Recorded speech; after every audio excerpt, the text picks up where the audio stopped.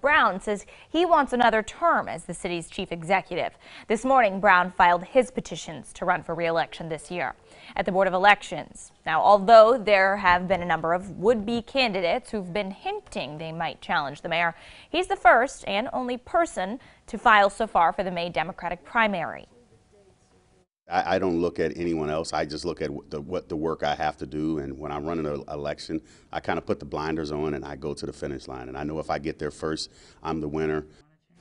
Brown was first elected in 2017, defeating incumbent John McNally.